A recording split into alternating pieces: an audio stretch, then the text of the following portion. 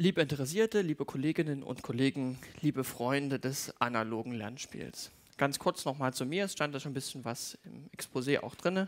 Mein Name ist Stefan Hildebrand, ich bin verheiratet, habe vier Kinder, unterrichte an einer Schule mit besonderen Herausforderungen in Leipzig die Fächer Geschichte, Religion, Mathe, Informatik und Brettspielunterricht. Bei uns an der Schule gibt es tats tatsächlich wirklich richtig Brettspielunterricht im Wahlpflichtbereich der Klasse 9 mit Pflicht, Besuchspflicht sozusagen. Das ist wirklich großartig.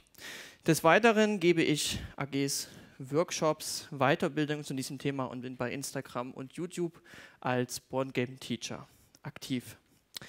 In Kooperation mit verschiedenen Universitäten veröffentliche ich auf dem Blog Board Game Historian, der morgen auch den Research Day organisiert. Herzliche Einladung dazu nochmal, lieber Lukas, liebe Anna, schön, dass ihr da seid ähm, veröffentliche ich dort in regelmäßigen Abständen Beiträge rund um das Thema Brettspiele und Schule und Brettspiele und Geschichte. Ihr seht, mir wird es eigentlich nie langweilig. Ganz kurze Anmerkungen. Die im Vortrag genannten Spiele stehen in keinem Zusammenhang mit meiner Tätigkeit als Rezensent und Brettspielblogger, sondern dienen lediglich der Veranschaulichung des Vortrags. Gut. Ich möchte mit euch heute einen Ausflug ins Paradies unternehmen. In eine Schule, in der an jeder Ecke gespielt wird. Früher haben mich sowohl Kollegen als auch Schüler total schief angeguckt, wenn ich mit einem Stapel Spiele unterm Arm durchs Schulhaus lief. So nach dem Motto, na, was macht der denn? Also der, der spielt ja nur, kann der mal bitte vernünftigen Unterricht machen und seine Spiele im Schrank lassen? Inzwischen ist es so, dass, wenn ich mit einem Stapel Spiele durchs Schulhaus laufe, sowohl die Schüler und Schü also Schülerinnen und Schüler als auch meine Kollegen angelaufen kommen und fragen, Mensch, was haben Sie denn wieder dabei? Was ist denn das? Können wir das mal sehen? Das sieht total spannend aus. Und genau das wäre schön, wenn wir das schaffen. Dieser Prozess, der war sehr langwierig, hat sehr viel Kraft gekostet. Ich musste gegen Widerstände kämpfen. Ähm, sowohl bei meinen Kollegen, bei den Schülern als auch bei der Schulleitung. Deswegen möchte ich im Laufe des Vortrags immer wieder Argumente sammeln, mit denen ihr dann den Einsatz von Brettspielen im Unterricht begründen könnt, falls euch jemand darauf anspricht. Gleichzeitig möchte ich euch ermutigen, so viel wie möglich im Unterricht Brettspiele als Lernspiele auszupacken. Eigentlich wollte ich euch als vollständiger digitaler Lehrer digital mit einbinden und über Umfragen, Live-Umfragen, Stimmungsbilder, Meinungen, Rückmeldungen einholen. Ich habe mich vorher mit dem Friedhelm Merz Verlag in Verbindung gesetzt und die meinten, naja, lass das mal lieber. Wir können nicht garantieren, dass jeder auf sein WLAN zugreifen kann oder auf seine mobilen Daten. Fühlt man sich doch gleich wie in der Schule, oder? Also, ja, kann man nichts machen. Da aber ein Vortrag mit alles schläft und einer spricht, überhaupt nicht meinen Ansprüchen erfüllt, möchte ich auf, euch auf eine andere Art und Weise mit einbinden. Kennt ihr die Methode Blitzlicht? Ja, ich nenne ein Thema und ihr sagt sofort einzeln und nacheinander ähm, den ersten Begriff, der euch dazu einfällt. Ja, sind, glaube ich, zu viele Leute dafür. Ähm, dann müssen wir das Ganze etwas anders machen. Und zwar schlage ich die Methode Donnerwetter vor funktioniert genauso, nur gleichzeitig und akustisch. Das heißt, ich nenne einen Begriff und ihr macht sofort das erste Geräusch, was euch dazu einfällt. Ihr könnt klatschen, stampfen, pfeifen, johlen, grölen, irgendwas, was euch einfällt, okay? Versuchen wir das mal. Versetzt euch doch bitte mal in eure Schulzeit zurück. Ihr als Schülerinnen und Schüler, ihr sitzt auf der Schulbank. Heute sind die meisten von euch wahrscheinlich Lehrerinnen und Lehrer und haben eine andere Einstellung zu den Themen, aber ihr damals in der Schule. Ihr bekommt eine Aufgabe zu Kurvendiskussionen. Ah, okay. Spannend, spannend, spannend. Wie wäre es mit Erörterungen? Oh, das ist schon gemischter. Mathe ist nicht so beliebt, ich merke das schon. Okay, Gedichtinterpretation. Cool. Ähm, Nochmal, ihr in der Schule, versetzt euch zurück, wo ihr in der Schule gewesen seid. Brettspiele. Hä? Ja, genau, hä? Das ist genau die Reaktion, die ich erwartet habe. Hä? Habt ihr damals in der Schule Brettspiele gespielt? Wirklich? Also ich bin noch nicht so alt und noch nicht so lange aus der Schule raus und bei mir kam das nie vor. Nie. Schach? Okay, Schach vielleicht. Schach AG. Okay, aber Schach ist ein Argument. Gebe ich dir recht. Aber so ansonsten, so wie wir das heute kennen, so Katan oder Puerto Rico oder so, wahrscheinlich eher weniger. Okay, dann nochmal. Ihr im Jetzt und Heute, ihr dürft mit euren Schülern Brettspiele spielen. Das wollte ich hören. Perfekt.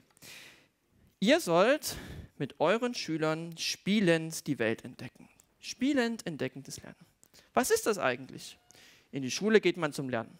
Soweit, so klar. Aber spielen? Spielend entdeckendes Lernen ist an das Prinzip des forschend entdeckendes Lernen angelehnt. Forschend entdeckendes Lernen ist ein Unterrichtsprinzip aus dem Bereich des offenen Unterrichts, bei dem die Schülerinnen und Schüler unter einer besonderen Fragestellung ein Problem ergründen und lösen.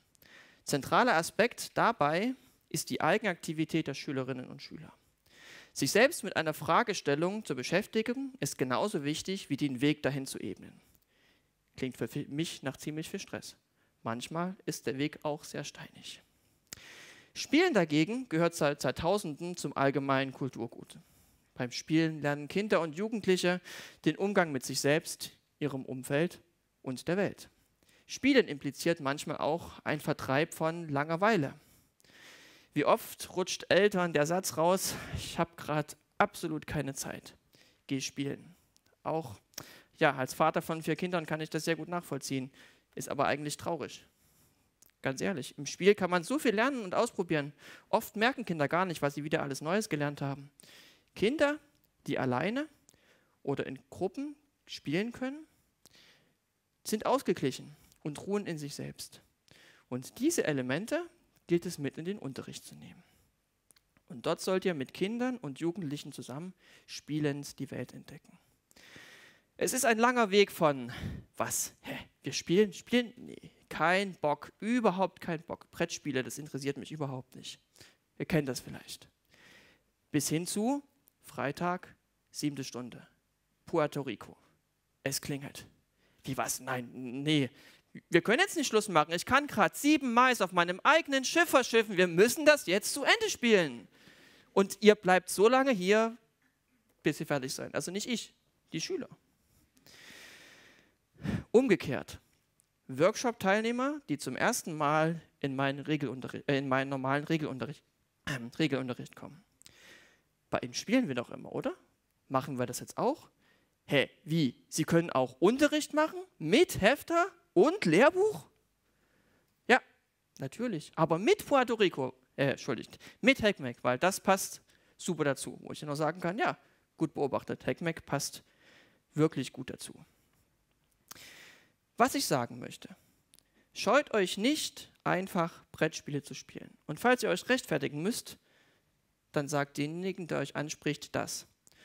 Unsere Schülerinnen und Schüler tragen neben ihrem eigenen Schulranzen noch einen ganz persönlichen Rucksack mit sich herum. Dieser ist oft gefüllt mit persönlichen Lebensumständen und Problemen. Doch was glaubt ihr, wie leicht so ein Rucksack für eine gewisse Zeit werden kann, wenn man da einen Blumenhäfen reinpackt? Nun, würde Klumhelfen vielleicht manche Schüler überfordern. Aber ich wollte nur auf das Gewicht hinaus.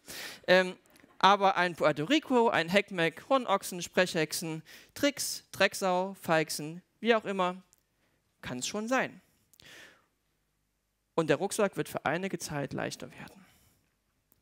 Ich erlebe es oft, dass nach dem Einsatz von Brettspielen im Unterricht Schülerinnen und Schüler zu mir kommen und mir rückmelden, dass sie gar nicht gemerkt haben, was sie wieder alles Neues gelernt haben.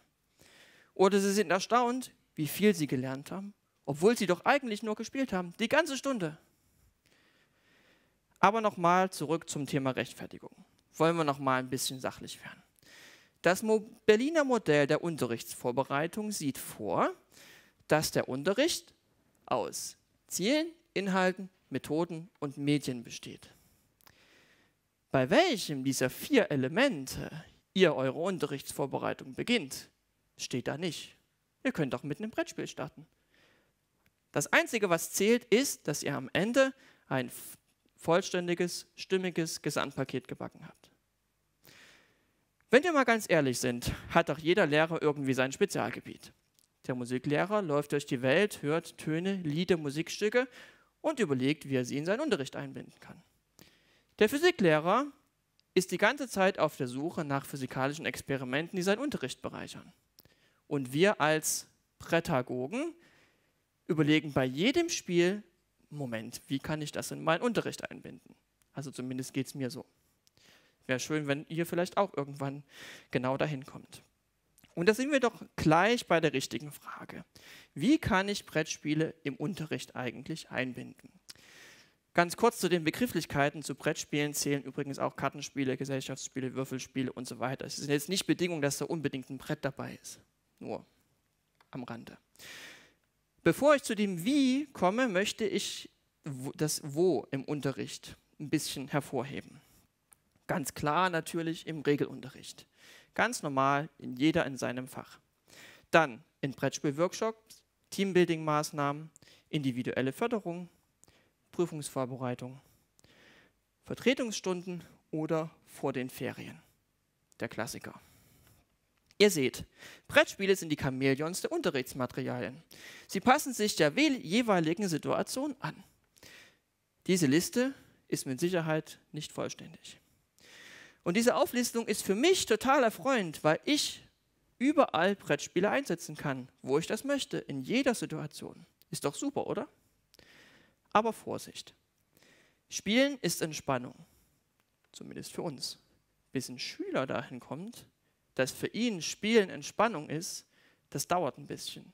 Das ist zuerst total, totaler Stress, weil der dieses Medium überhaupt nicht gewöhnt ist. Bei den wenigsten gehören Spiele zu Hause zum Alltag.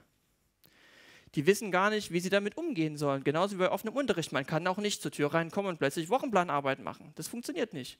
Da gehen die Tische, äh, anders, gehen die Schülerinnen und Schüler über Tische und Bänke. So wird ein Schul draus. Das muss man ganz behutsam einführen. Wie man das machen kann, das möchte ich euch zeigen. Also nicht gleich übertreiben, sondern so ganz langsam anfangen, okay? Da auf jeden Fall, mindestens.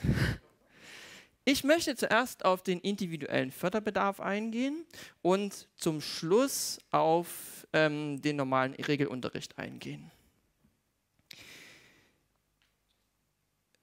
Der individuelle Förderbedarf ist dadurch gekennzeichnet, oder der individuelle Förderbereich ist dadurch gekennzeichnet, dass in der Regel Kleingruppensituationen oder am besten 1 zu 1 Situationen vorliegen. Hier solltet ihr zunächst untersuchen, welcher Förderbedarf besteht. Ich habe stundenlang mit Schülerinnen und Schülern da gesessen und Karten gemischt. Nichts weiter gemacht als Karten gemischt. Ihr glaubt nicht, wie besser oder wie viel besser hinterher der Umgang mit Lineal, Stiften und Geodreieck klappt. Einfach nur da sitzen, Karten mischen. Auf verschiedene Art und Weise. Wenn man dann noch geschickt mischen kann und ein bisschen was vorzeigen kann, so mit irgendwie, ja, kann man jetzt zeigen, habe gerade keine Karten, ähm, dann sind die Schüler total beeindruckt und wollen es auch unbedingt lernen. Also guter Bereich. Ja, im Bereich Sprache gibt es ganz viele Möglichkeiten, je nachdem, welcher Förderbedarf bei euren Schülerinnen und Schülern besteht. Die Klassen werden immer heterogener Sprachförderbedarf ist garantiert dabei. Und solche sauschönen, schmutzigen Schweine, die in den Matsch hopsen wie in Drecksau, habt ihr noch nie irgendwo gesehen. Jeder Logopäde hätte seine Freunde daran. Übrigens auch gerade ähm, Monstersuppe von Schmidt-Spiele ist da auch sehr gut geeignet. Gibt es Schlangen und Spinnen und so weiter. Also immer wichtig, da zu sprechen ähm, vorsprechen, nachsprechen und so weiter. Jetzt sind wir keine Logopäden, aber weiß auch nicht, wie das bei euch ist. Bei uns in Sachsen ist es so, dass wir als normale Pädagogen mit Reststunden Schülerinnen und Schüler mit Förderbedarf begleiten und auch Förderpläne schreiben in Kooperation mit Förderschulen und diesen dann sozusagen den Weg durch das Schuljahr ein bisschen erleichtern. Konzentrationsschwierigkeiten. Ähm, ja, ist in der Regel oder die sind in der Regel dadurch, gekennzeichnet, dass man Kleingruppensituationen hat, so ist es zumindest bei uns. Und ähm, ich habe Schülerinnen und Schüler mit diagnostizierten Lernbehinderungen, die sich im Unterricht keine siebeneinhalb Minuten konzentrieren können. Durch das regelmäßige wöchentliche Training, 90 Minuten, mit Brettspielen konnte ich es erreichen, dass diese Konzentrationsspanne auf 10 bis 15 Minuten erhöht wird. Und das ist plötzlich ein Drittel der Stunde. Das ist total genial, wenn die sich so lange konzentrieren können. Was denkt ihr, wie die das motiviert? Gute Erfahrungen habe ich ähm, mit dem Spiel Savannah Park gesammelt. Ich weiß nicht, ob ihr das kennt. Man muss so Plättchen umsortieren und ich saß beim ersten Mal davor und dachte, mein Kopf explodiert. Äh, das kann man sich überhaupt nicht vorstellen, wie das jetzt hier irgendwie zusammenpassen soll. Mit der Zeit geht das besser und den Schülerinnen und Schülern geht es ganz genauso. Bevor ich zu den anderen ähm, Bereichen komme, möchte ich euch noch kurz einen Geheimtipp mit auf den Weg geben, wie ihr Schülerinnen und Schüler an das Brettspielen im unterricht herangeben, her, äh, heranführen könnt. Dabei ist es zu, zunächst wichtig, das Brettspiel als Methode und Medium einzuführen. Da hat doch gleich einer den QR-Code gegoogelt hier oder abgescannt, habe ich gehört. Ähm, spielt mit ihnen ein Spiel, das alle gleichzeitig beschäftigt und ihr von vorne die Kontrolle habt. Das Spiel Second Chance ist dafür eine gute Variante. Ganz kurz, wer das nicht kennt, solltet ihr das unbedingt mal anschauen. Ihr habt ein 9x9 Raster, was Tetris-artig mit Formen gefüllt wird. Da gibt es die unterschiedlichsten Dinge. Ihr seht das hier vorne auf der Spielschachtel, welche Formen da möglich sind, von einzelnen Blöcken bis hin zu größeren Teilen. Was glaubt ihr, welche Emotionen ihr in diesem Moment freisetzt? Das geht von blanker Wut bis hin zu lautem Jubel, dass die Kollegen kommen und sagen, was macht ihr eigentlich? Warum habt ihr so viel Spaß? Je nachdem, welches Teil gerade kommt. Also schaut euch das unbedingt mal an. Das Gute ist, ihr habt von vorne die Kontrolle. Die Schülerinnen und Schüler lernen, wie gehe ich mit so einem Spiel um ich muss mich an die Regeln halten, ich muss warten, bis ich dran bin, ich decke immer zwei Karten auf, ich muss mich für eine entscheiden, die kann ich drehen, wenden, spiegeln und so weiter. Das ist wirklich... Ihr könnt den QR-Code gerne abscannen, so war es gedacht, aber vielleicht macht ihr euren Ton vorher aus. Das wäre großartig. also, ähm, nur für die, die es noch nicht kannten. Möglich ist es auch ein Regelvideo, vorher zu machen oder auf ein fertiges zurückzugreifen, dann braucht ihr euch nicht als Erklärwerk selber vorne hinstellen. Ist nur eine Variante. Falls euch Second Chance zu langweilig wird, gibt es ganz viele andere Spiele, bei denen das auch geht, ähm, wie zum Beispiel Trails of Tucana, voll verplant oder auch der Kartograf, das wäre dann schon eher für die höheren Klassen, habe ich alles schon gemacht, funktioniert wirklich, funktioniert wirklich wunderbar. Auf diese Art und Weise, wie gesagt, können Schüler und Schüler an die Einhaltung von Regeln gewöhnen und Brettspiele kennenlernen. Wenn ihr Brettspiele im Unterricht einsetzt, müsst ihr euch zunächst entscheiden, ob alle das gleiche Spiel spielen sollen oder verschiedene, ihr verschiedene Spiele anbietet. Brechen wir das mal herunter. Habt ihr eine themengleiche Gruppenarbeit oder eine themendifferente Gruppenarbeit? Ihr habt alle genug Erfahrung, um zu wissen, wie viel Stress Themen differente Gruppenarbeiten sind. Ich empfehle euch, am Anfang zunächst alle das gleiche Spiel spielen zu lassen. Egal, ob das jetzt eins ist, was ihr von vorne kontrollieren könnt, oder ob ihr fünf Hackmacks mitbringt und alle erstmal Hackmack spielen. Oder Feixen zum Beispiel, was hier vorne steht. Ähm, das könntet ihr auch einfach zu Hause nachbauen. Genau, dann könnt ihr euch auch daran gewöhnen, wie leite ich sowas an und müsst nicht von jeder Gruppe oder von Gruppe zu Gruppe gehen und dann ähm, immer die Regeln umswitchen. Das ist nämlich ziemlich anstrengend. Wenn man viel Erfahrung hat, ist das kein Problem, aber da muss man sich selber auch mal dran gewöhnen. Es ist alles, es ist alles ein Lernprozess. Okay. Vertretungsstunden bzw. Stunden vor den Ferien. Ja, dazu brauche ich jetzt, glaube ich, nicht so viel zu sagen. Ihr seid in einer Klasse, die ihr nur flüchtig kennt und die ihr auch sonst nicht im Unterricht habt. Kann ja mal vorkommen. Die Standardfrage ist doch immer, können wir einen Film gucken, sofern eure Schule die technischen Voraussetzungen dafür bietet. Die Frage muss doch eigentlich lauten, welches Spiel spielen wir heute und nicht welchen Film oder können wir einen Film gucken, sondern ähm, ja, welches Spiel spielen wir heute? Ich muss zugeben, ganz so weit ist es bei mir auch noch nicht. Ähm, wir sind jetzt so weit, dass wir abstimmen und es meist zugunsten des Spiels ausgeht. Da bin ich schon mal sehr glücklich drüber.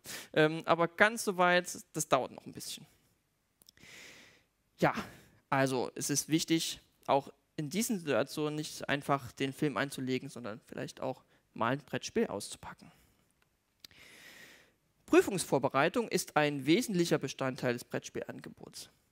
Hier bieten sich vor allen Dingen thematische Spiele an, so wie Anno Domini, um das Geschichtsbewusstsein und das, ähm, ja, das Datenbewusstsein zu festigen oder zum Beispiel auch ein Escape Room, wie da unten. Gute Möglichkeiten bietet der Auer Verlag, der ähm, zahlreiche Hefte für verschiedene Fächer hat. Da könnt ihr dort gerne mal gucken, das ist wirklich gut aufgearbeitet, sodass es einfach in Anführungsstrichen nur noch kopieren braucht und dann ähm, könnt ihr das im Unterricht wirklich gut einsetzen. Oder wie ihr hier links seht, gibt es auch für den ja, chemisch-biologischen Bereich aus dem Schwerkraftverlag zahlreiche Spiele, die sich wirklich gut dafür anbieten. Elemente, da geht es um ähm, das Periodensystem der Elemente. Genotyp wäre die Ver ähm, Vererbungslehre, die männliche Vererbungs Vererbungslehre oder Zytose, die Abläufe in einer Zelle. Ähm, es ist, glaube ich, noch, jetzt noch eins rausgekommen, Zellulose heißt das. Das habe ich mir aber noch nicht angeschaut. Ähm, ja, mit Schülern, mit Schülerinnen und Schülern diese Spiele anzufangen. Also Elemente vielleicht, bei den anderen bräuchte ihr schon ein bisschen Erfahrung vorher. Es könnte jetzt nicht anfangen damit, ähm, das zu spielen. Brettspielworkshops.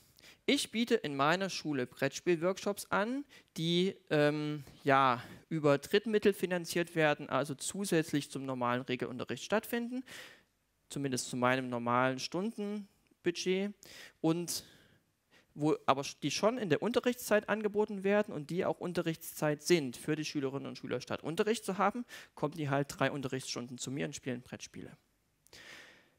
Das ist gut, zum Beispiel für die Ukrainer, die jetzt bei uns an der Schule sind, schon seit, ähm, schon vor den Ferien, schon vor den Sommerferien haben wir damit angefangen, die lernen zum Beispiel so ziemlich schnell Deutsch.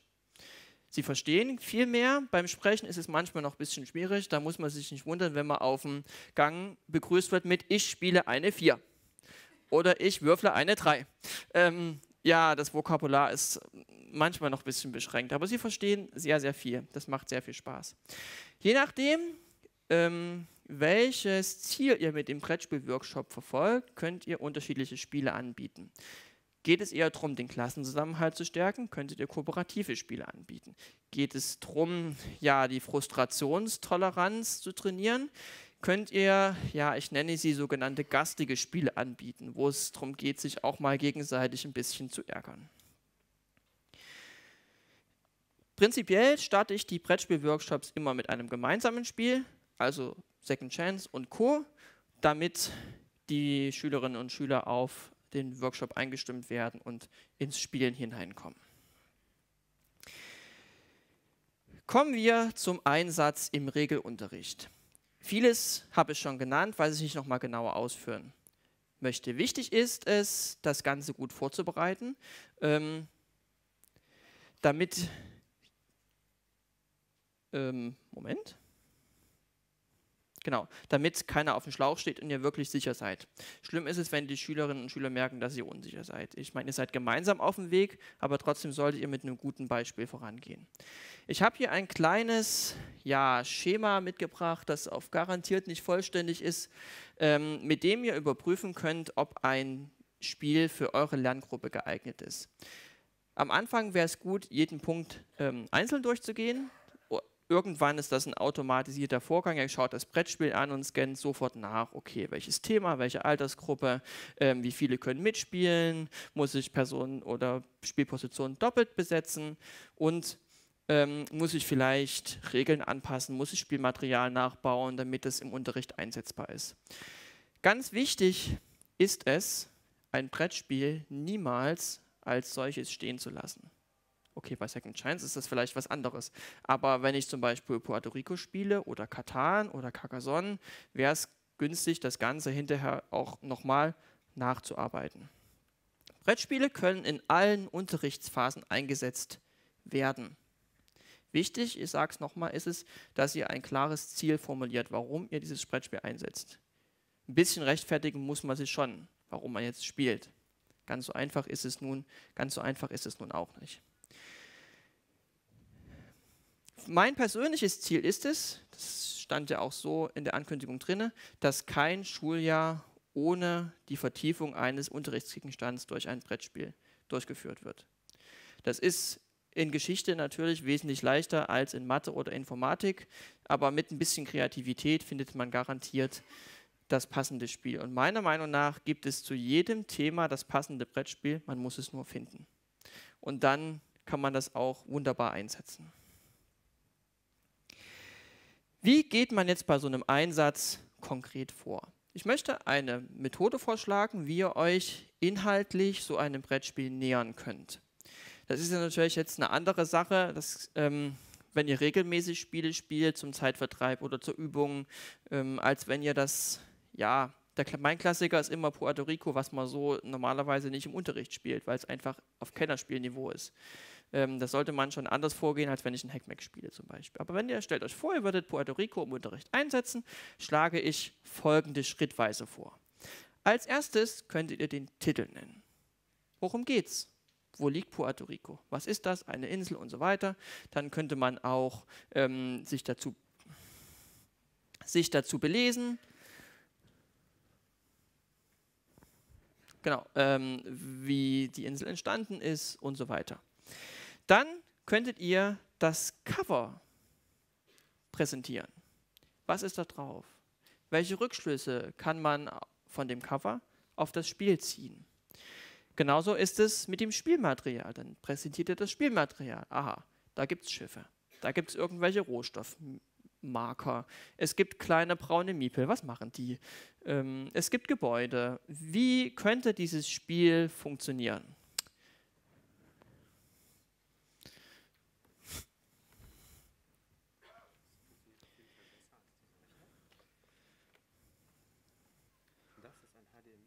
Ah, dann lege ich es auf die andere Seite. Gut. Okay. Genau. Und erst wenn ihr gemeinsam so dieses Spiel entdeckt habt, dann könnt ihr anfangen, die Regeln zu klären. Nicht Spiel, los geht's, wir erklären die Regeln. Es geht aus meiner Sicht geht es viel zu schnell. Die Schülerinnen und Schüler müssen genauso in dem Spiel ankommen wie ihr auch. Ja, dann kommt das Herzstück vielleicht der ganzen Sache, die Spieldurchführung. Er macht das ja auch ein bisschen, um mit den Schülerinnen und Schülern zu spielen. Ähm, da gibt es verschiedene Herangehensweisen. Ähm, oft bleibt es nicht dabei, dass das Spiel einmal gespielt wird. Das ist, das ist unmöglich. Beim ersten Mal haben die das garantiert nicht verstanden, machen haufenweise Fehler. Ähm, man muss es mindestens zwei, drei, viermal spielen. Das dauert bei Puerto Rico schon ganz schön lange. Aber wenn man sich dazu entscheidet, das zu machen, ähm, sollte man sich die Zeit auch wirklich nehmen. So ist zumindest meine Sicht. Genau, also man kann denen auch verschiedene Aufgabenstellungen dazu geben, dass sie sich vorher eine taktische Einstellung geben, dass sie überlegen, was mache ich heute, dass sie sich genau beobachten, was habe ich denn heute gemacht, was kann ich beim nächsten Mal besser machen. Ähm, ja, für manche ist es vielleicht dann doch nicht das Richtige, dann könntet ihr für die auch noch eine extra Aufgabe bereithalten, dass sie sich inhaltlich mit dem Themenbereich des Spiels auseinandersetzen, falls jemand überhaupt keinen Bock zum Spielen hat. Wir wollen ja auch keinen zwingen. Ähm, Stichwort Differenzierung. Und zum Schluss, danach habe ich schon gesagt, ganz wichtig ist eine Nachbereitung. Und da sind eigentlich eurer Kreativität überhaupt keine Grenzen gelassen. Ihr könntet ja ähm, Rezensionen schreiben lassen. Ihr könnt das inhaltlich mit einer Erörterung ja, nachbearbeiten. Ihr könnt einen Podcast machen. Ihr könnt Spielmaterial selber entwickeln lassen. Zu dem Spiel Textura zum Beispiel, ähm, was die Narrativität im Geschichtsunterricht ähm, ja, fördert, hab, haben wir ein, unser eigenes unser eigenes Set dazu gebaut, zum Beispiel ähm, gemeinsam mit Schülerinnen und Schülern jede Stunde eine neue Karte. Ähm, und so hat uns das durch die Lerneinheit begleitet. Ähm, genau, falls ihr das nicht kennt, guckt euch das unbedingt mal an. Das ähm, ist wirklich sehr gut. Ja. Textura heißt das. Jetzt war ich aber nicht dran. Textura heißt das, genau. Von Daniel Bernsen, der ist auch hier. Das ist der nächste, genau. Also wenn es euch interessiert, dann bleibt gerne noch.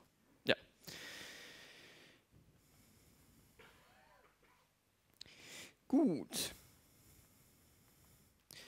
Genau, günstig ist es auch immer, so ist es zumindest meine Erfahrung, ähm, irgendwie ein Regelvideo dazu zur Verfügung zu stellen oder die Regeln nochmal leichter auf einem A4-Blatt zusammenzufassen. So können, falls Regelfragen bestehen, seid nicht immer ihr der Ansprechpartner, sondern die Schülerinnen und Schüler können selbstständig nochmal nachgucken. Also wir haben einen Klassensatz Tablets, dann funktioniert das einfach, dann scannen die das, springen über die Timestamps an die richtige Stelle und ähm, finden dort die Möglichkeit. Okay, zwei Best Practice Beispiele, die ich noch kurz nennen möchte. Ich weiß, langsam gehe ich euch auf die Nerven, aber das Spiel Puerto Rico hat in meinem Unterricht einen festen Platz, weil es einfach kein Spiel gibt, was die zugegebenermaßen traurige Kolonialgeschichte so authentisch darstellt wie dieses Spiel. Da ist jetzt eine Neuauflage erschienen, Puerto Rico 1897. Ähm, schaut euch das mal an und entscheidet für euch selbst, ob das das Spiel besser macht oder nicht. Es soll ja das ganze Kolonialthema ja anders darstellen, sage ich mal. Aber genau, dazu behalte ich meine Meinung für mich. Anderes Beispiel. Das Thema Falksen habe ich jetzt vor kurzem erst entdeckt, ist von dem Michael Wibirek, ähm, der mir erlaubt hat, das für meine Schüler nachzubauen und auch ähm, bereitzustellen. Das Material ist wirklich ein total geniales Spiel. Von Prinzip her total easy. In der Mitte liegen, wie ihr das oben schon seht, eine Anzahl von Würfeln, bunte und schwarze.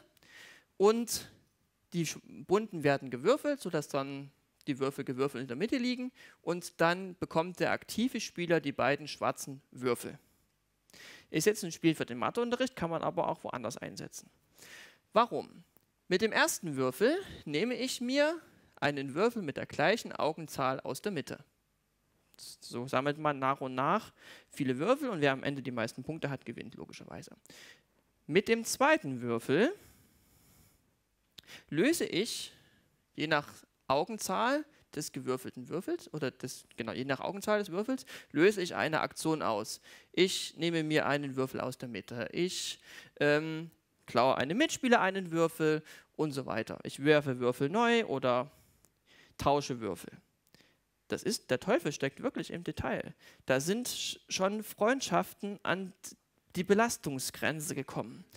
Also die soziale Komponente bei diesem Spiel darf man tatsächlich wirklich nicht unterschätzen. Ähm, die Schülerinnen und Schüler müssen unterscheiden, wer vor ihnen sitzt, ihre beste Freundin oder das, das Spieler-Ich der besten Freundin. Ähm, ja, gerade gestern, ich habe es mit meiner Klasse wieder gespielt, da die eine gesagt, nee, es tut mir leid, das kann ich nicht nochmal spielen, ich kann das nicht differenzieren. Ähm, äh, es passiert ja gleich noch was, wenn wir jetzt weiterspielen. Ähm, äh, aber auch das muss man lernen und noch dazu kommt Kopfrechnen dazu, ähm, Regelbewusstsein, was mache ich mit den Würfeln, was ist der erste, was ist der zweite Würfel und so weiter. Also schaut euch das gerne mal an, ihr braucht eigentlich nichts weiter ähm, als diese Übersichten, die es auf meinem YouTube-Kanal gibt und ähm, haufenweise Würfel, die man vielleicht noch irgendwo bekommen kann.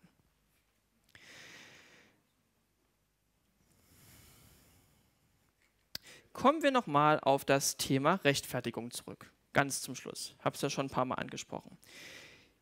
Ihr braucht euch eigentlich überhaupt nicht rechtfertigen. Der Musiklehrer rechtfertigt sich nicht fürs Singen. Der Mathelehrer findet es nicht komisch, wenn im Unterricht gerechnet wird. Und ähm, ja, Brettspiele stehen für fächerverbindenden, praktischen und differenzierten Unterricht, der die Lebenswelt der Schülerinnen und Schüler so sehr einholt, dass sie oft gar nicht merken, was sie alles gelernt haben. Was könnte es Schöneres geben? Kommen wir nochmal auf den Anfang zurück. Versuchen das nochmal mit der akustischen Einpunktabfrage. Freut ihr euch darauf, Brettspiele im Unterricht einzusetzen? Ja. ja. Dann seid kreativ, und bringt ein bisschen Zeit mit. Ich wünsche euch alles Gute und wunderschöne Spielerfahrungen mit Kindern und Jugendlichen.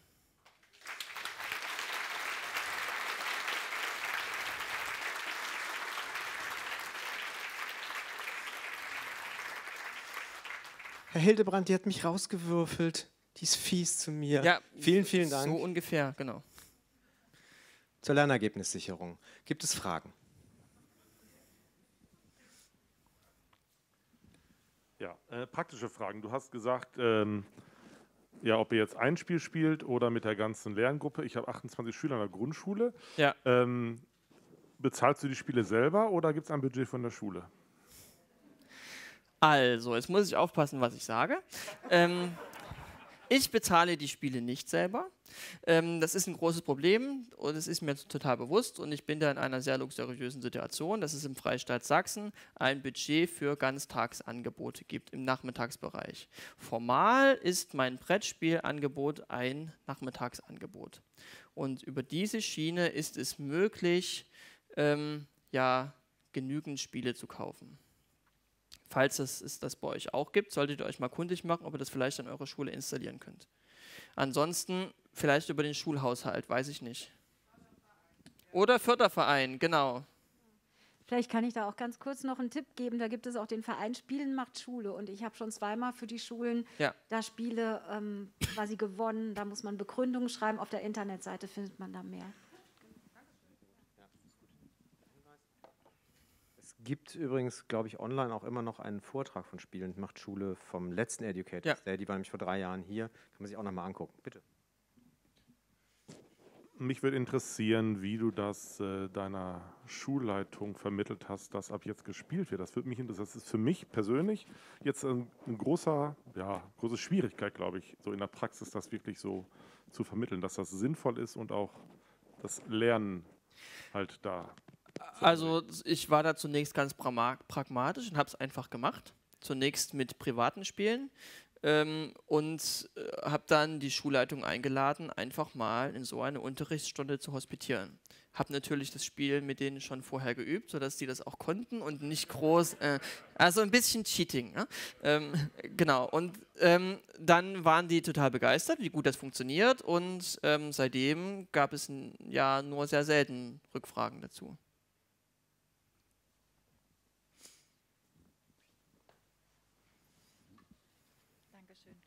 Ähm, ich habe eine Frage und zwar, ich stelle mir gerade meine achte Klasse vor. Ich habe da zwei Stinkstiefel drin sitzen. Also die Kollegen kennen solche Schüler, die einfach unheimlich Freude daran haben, allen anderen Schülern das Spielen zu verderben. Also es gibt solche Kinder, welche, mit welchem Rucksack die auch immer in die Schule kommen. Wie gehst du damit um?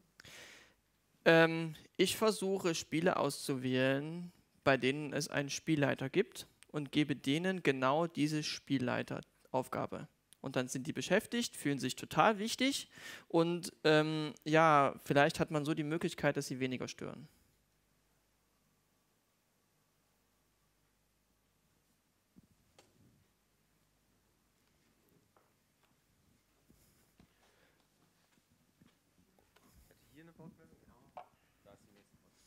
Ähm, meine Frage ist, wenn es jetzt um den Einsatz im Regelunterricht geht, ähm, in was für einem Ausmaß, von was für einem Ausmaß reden wir da jetzt, wenn man sagt, man macht das regelmäßig?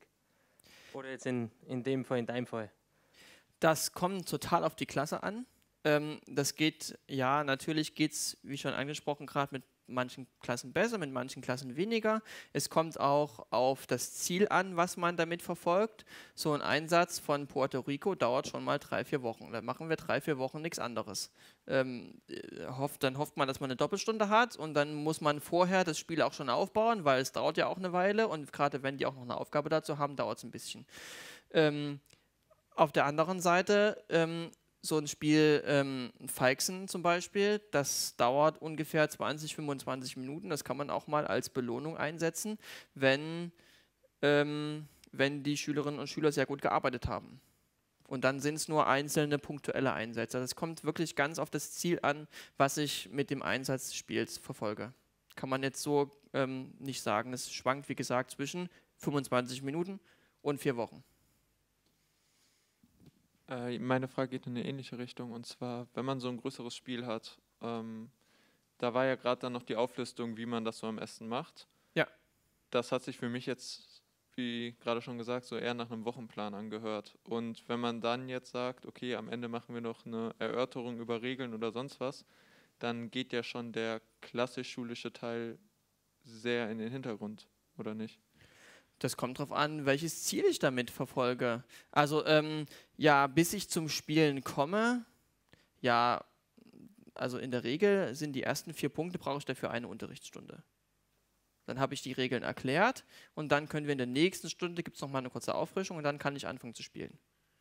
Ist die Frage, was man als ja, was man als ähm, klassisch schulischen Teil dabei betrachtet. Im Fall von Puerto Rico zum Beispiel kann man ja super nachvollziehen, ähm, wie sind die Organisationswege dort. Was passiert das? Ich muss es herstellen, ich muss es verschiffen. Dann kommen die neuen Arbeiter, klassischer Dreieckshandel. Das ist aus meiner Sicht der schulische Teil total erfüllt, weil die Schülerinnen und Schüler erkennen, okay, hier wird der Dreieckshandel nachgebaut.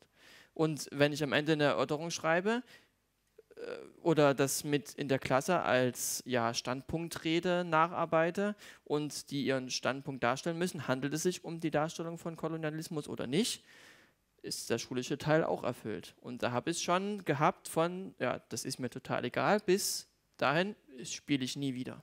Das kann ich nicht mit mir vereinbaren, das nachzuspielen. Es kommt ganz auf die Lerngruppe an. Ist da noch eine Nachfrage zu? Dahin. Und jetzt im Teil, man muss ja auch, ich denke jetzt weiter, ja. man muss ja auch so ein bisschen auf Klausuren vorbereiten und ja. auf Abgabeprüfung. Ja. Und wenn ich jetzt vier, also sagen wir jetzt mal, ne, das Teil, vier Unterrichtsstunden muss ich schon damit mit den ersten vier Punkten ja. locken. Das ist ja eine Woche, wenn man Glück hat. Nee, die ersten vier Punkte eine Unterrichtsstunde. Ach so, die ersten genau. vier Punkte eine. Genau. Okay, aber trotzdem, ja. am Ende die Klausur zu schreiben, was man immer von Klausuren hält, aber am Ende die Klausur ist ja die Vorbereitung praktisch aufs Abitur und sonst was. Und das ja. kommt doch schon bis, also ich würde in diesem Fall das Ganze dann nochmal in einer Merkübersicht zusammenfassen. Das könnte auch eine Nachbearbeitung sein davon. Dann steht auch was im Hefter, was man auswendig lernen kann. Und ähm, ich würde den Umgang der Schülerinnen und Schüler mit dem Spiel auch, kann man auch in der Note zusammenfassen. Gibt es irgendwie von dir oder in deinem Dunstkreis äh, so eine Bemühung, sich zu vernetzen, dass man sagt, so, hey, das Thema XY in dem Fach habe ich mit diesem Spiel erarbeitet? Ähm, das ist eine gute Idee. Nein, gibt es noch nicht, aber du kannst mich gerne mal anschreiben, dass man dann gemeinsam versucht, das, ja, ähm, ich weiß von, äh, aus der Community bei, Community bei Instagram, dass ganz viele dazu immer wieder Beiträge erstellen, aber es wird an keiner Stelle tatsächlich richtig gesammelt, was eigentlich sehr schade ist. Ja, das sollte man mal tun. Da hinten war noch eine Frage, glaube ich, falls wir die Zeit noch haben.